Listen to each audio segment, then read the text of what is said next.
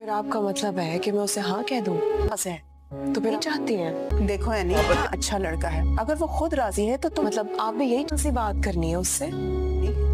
عفان اتنی کچھ پلاننگ نہیں کر رہے۔ بس محبت بتانے کے لیے آیا ہوں کہ تمہیں میرے بغیر خوش رہنا ہے اور تم میرے لیے بار بار رونا چھوڑ دو میری فکر کرنا چھوڑ دو۔ اب تم اپنی زندگی پر دھیان دو اور اپنی اور عمر کی زندگی پر دھیان دو۔ تمہیں آگے اپنی اور عمر کی زندگی سے ٹھیک کرنی ہے آگے اپنی زندگی سنوارنی ہے تاکہ عمر بڑا ہو کر ہمیشہ خوش رہے۔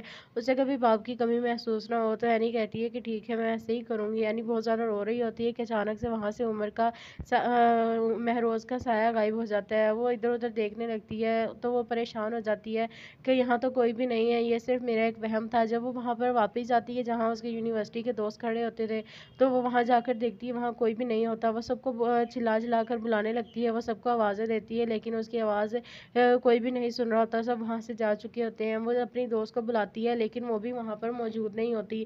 بیچ بالکل خالی ہوتا ہے۔ وہ بہت زیادہ گھبرا جاتی ہے، وہ سڑک کی طرف بھاگتی ہے۔ وہاں پر کسی سے ہیلپ لینے کے لیے۔